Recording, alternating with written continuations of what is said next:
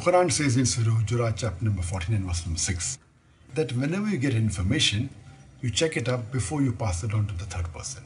Unfortunately, almost all of the media throughout the world, they do not follow this guidance given in the glorious Quran. And this is exactly what happened just recently when an article came in most of the Indian newspapers, headlines, as well as the news channels, that I was responsible for inspiring one of the terrorists of the attack in Dhaka in Bangladesh. I inspired him to do this act of killing innocent human beings. I did a little research and I had to find out what was the story behind this. And when I spoke to the Bangladeshi official government people, they told me that they do not believe that I inspired this Bangladeshi terrorist to do this act of killing innocent people. That's the different issue. That yes, he was my fan. And there are millions of fans of mine throughout the world. And particularly in Bangladesh, Alhamdulillah, more than 90% know me and more than 50% are my fans.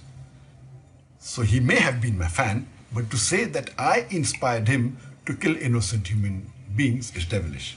But this story occurred the first time in one of the leading newspapers of Bangladesh, the Daily Star.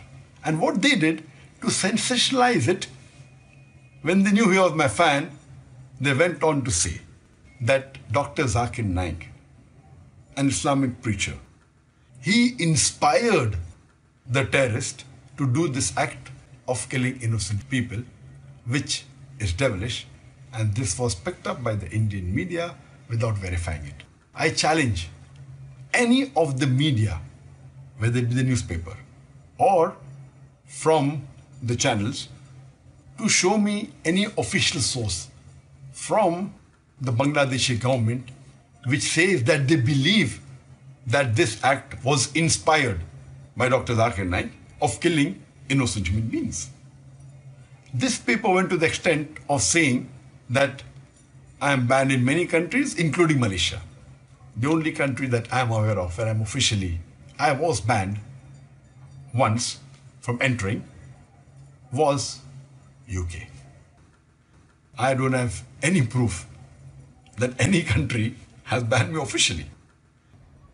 And Malaysia banning me, it is illogical because this paper doesn't know, neither does the Indian press knows. If they had done little research, they would have realized that less than three years back, in 2013, I got the Tokoh Maal Hijrah Award, which is the highest award of Malaysia, which is given every year to a Malaysian and once in a blue moon to a foreigner. Alhamdulillah, by the grace of Allah subhanahu wa ta'ala, in the last 25 years, I was the fourth foreigner who got this award. And this award was given to me by the King of Malaysia and the Prime Minister of Malaysia. And since I've been awarded the highest award, do you think that they gave an award to a person who promotes terrorism? Do you think the Malaysian intelligence is so stupid? And this paper said it, and the Indian news media picked it up without verifying it. And just for the information, I was there in Malaysia just hardly less than three months back.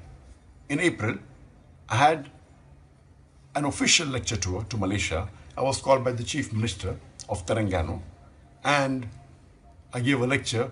Yes, there were some Hindu organization by the name of Hindraf who objected and said that I should not be allowed to give speeches, I should be banned, and there was a strong reaction from the Muslim community. All the Muslims of Malaysia gathered together and they disagreed with it. So much so that in a span of four days, I met 14 ministers from this country, Malaysia. I met the Prime Minister, I met the Deputy Prime Minister, Home Minister, Religious Minister, Sports Minister, Education Minister, Telecommunication Minister, on and on. In four days. Never in my life have I met more than 15 ministers in a span of four days. Alhamdulillah, my fan following in Malaysia is also very high.